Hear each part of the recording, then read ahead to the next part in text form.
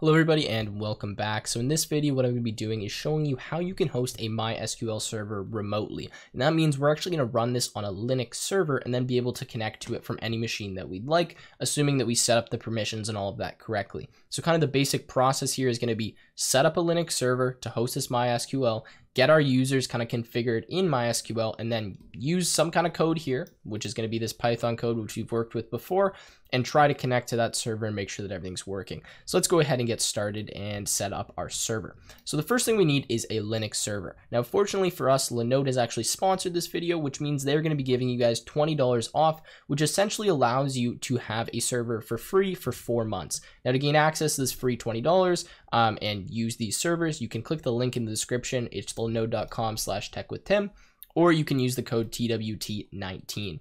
Now, if you guys aren't interested in actually hosting the MySQL server and you want to use this for something else, uh, Linode essentially allows you to kind of host anything. Like if it can run on Linux, you can host this on Linodes, like a website, um, I don't know, an app, whatever it is, a MySQL server, Minecraft server, anything that runs on Linux, you can run on Linode, so you can use that.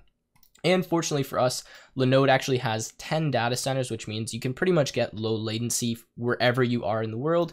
And another cool fact about this is that they're actually opening a new data center in Sydney, Australia by the end of the year. So that's exciting for any of you uh, Aussies out there that might be following, because I know they usually don't have much hosting in Australia. So anyways, that's enough about Linode. What we're going to do now is start actually setting up our server. So again, if you guys have a Linux server, you don't need to do this process, but I'm just going to walk you through because I assume some of you will follow along with me on this. I'm going to choose my distribution. I've just done this by clicking create Linode.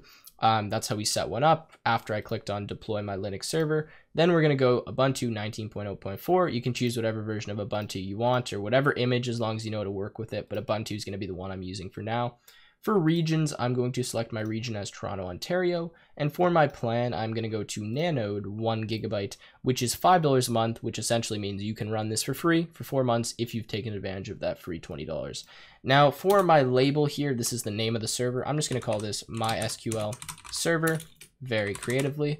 And then for my password, make sure you guys remember what this password is because this is what you're going to use to actually log into your MySQL server. So I've made mine here. Um, again, make sure you remember it. Okay, so once we've done this, that's all we need to do. We'll click on create, give it a minute or two to boot up, and then once it's booted up, I will be back and we'll be working with the server. Okay, so I've booted up my server now. Everything seems to be working. You can see that it says running here at the top right hand corner, so that's how we know that everything's good.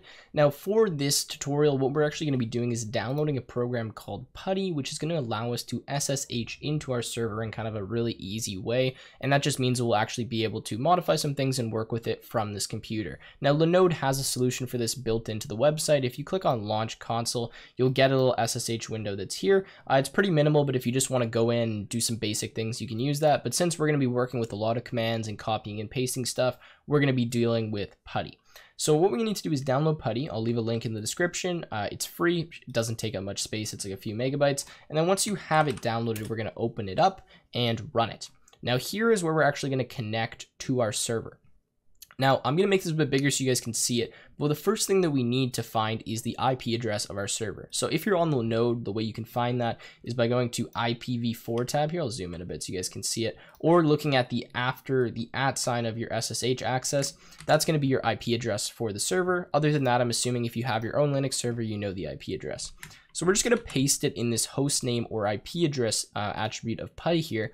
And then what I'm going to do is change the font size of my window so that I can actually see it when we're uh, doing this because it starts off very small. So I'll just click on appearance, I'll click on change, and then I'll go to 20 like that so you guys can see it.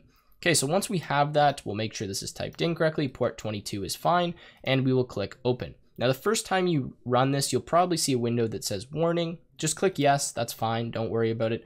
And we're gonna log into our server as the root user. Now we're gonna type root as the login and the password is gonna be whatever that root password is that we created and you won't see it when you're typing it, so just type it, then hit enter. Okay, so now we're in, we're on our server, and we can actually start installing the MySQL server. So the first thing that we're gonna do is just install MySQL. So to do that, we're gonna type sudo apt-get install mysql-server like that. Gonna run that, give it a second. It's gonna ask us to type yes. We'll hit yes and wait for this to be done and then I'll be back. Okay, so now we've actually successfully installed MySQL on this server, and what we need to do now is kind of configure it, set up a few things, and allow remote access, because by default, MySQL is localhost, which means you can only connect to it locally from the server.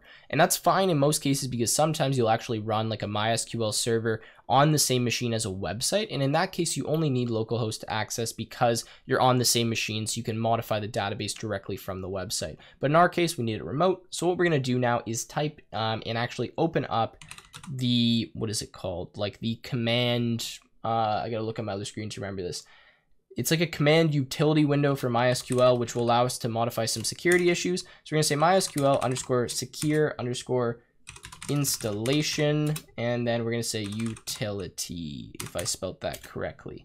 Okay, so now we have that. So sudo MySQL underscore secure underscore installation space utility.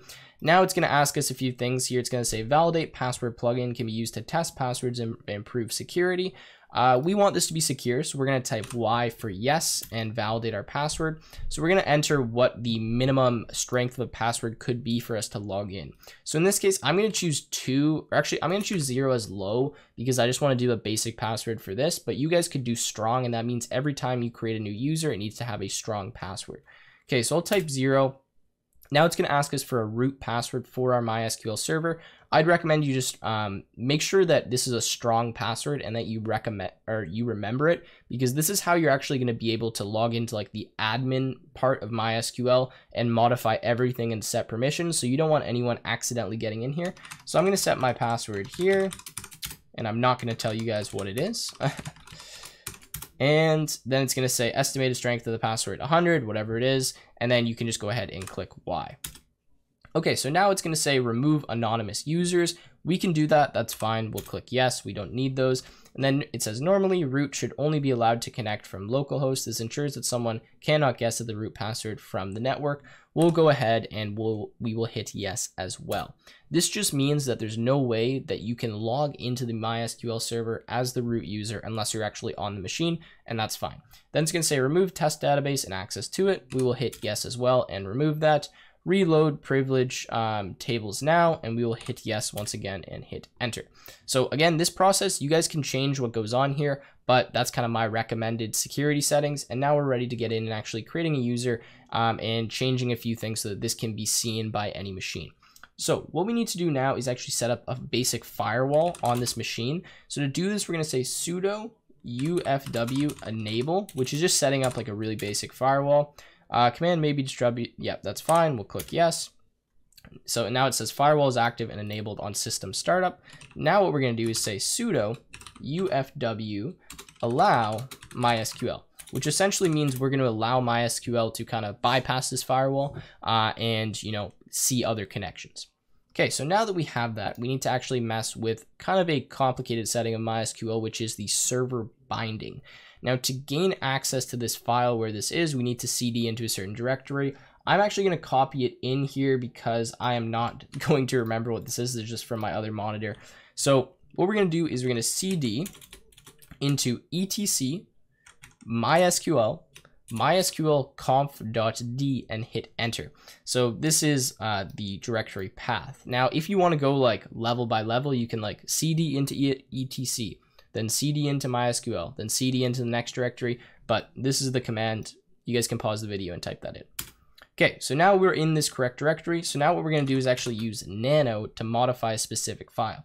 Now the file we need is going to be mysqld.cnf. So we're to say nano mysqld.cnf, and nano is just a very basic text editor. So now we're in nano. To navigate through nano, you're going to use the arrow keys. So I'm going to scroll down until I see something that says binding. So it says bind address here. So you can see that the default value is 127.0.0.1. Now what that means is this is actually only binded to localhost, which means that only localhost, which is the actual machine, can access the server. We obviously don't want that. We want to be able to access that from outside of this. So what we're going to do is change this to 0.0.0. Um, dot zero, which is going to mean that anything can access this server. So it's binding to essentially any IP address that this server has, which means we can access it from anywhere else.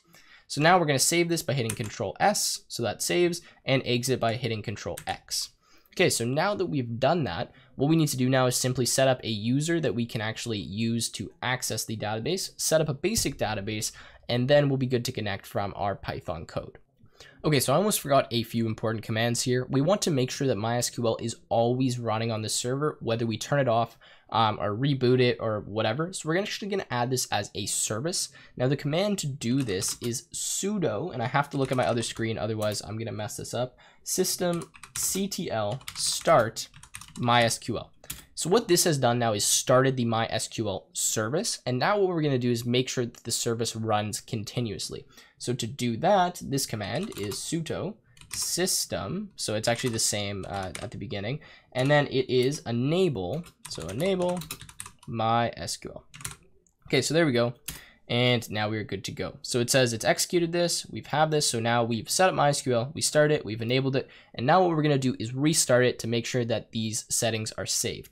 So to do that one, we're going to do sudo, and I got to look at this again, system, system ctl, restart MySQL.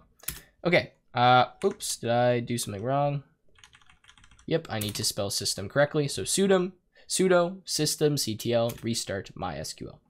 Okay, so now we've restarted and now we're actually gonna go into the MySQL settings and start modifying some things. So to do this, we're gonna type MySQL hyphen u, which stands for user. We're going to type root, which is the root user, and then we're going to type hyphen p. Now it's going to ask you for your password. This will be the password we set up when we went into that utility. So make sure that you know what that one is.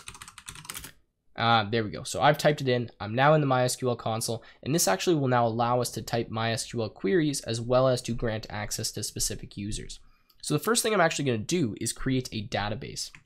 So I'm going to say create database test. I'll just keep it lowercase like that. And I'm going to end this with a semicolon. So let's hit enter. It says query OK, one row affected. And now we've created a test database. And the reason I've done this is because we're going to give access to our user to this specific database on our MySQL server. So now what I'm going to do is I'm actually going to type grant all on test dot star. Now what this is saying is I'm going to grant all permissions on the database test and test.star just means any tables inside the database. If you wanted to grant access to a specific table, like say we had a table called users, then we would do test.users and that would give this user specific access just to the user table from this database. But I want them to have access to all, so I will state star. And if you wanted to just grant access, say maybe you just want them to be able to select data, like just look at data in the database, you would say grant select. If you wanted, you know, grant select and update, or if you wanted like grant, select, um, I'm trying to think of other queries you could do here.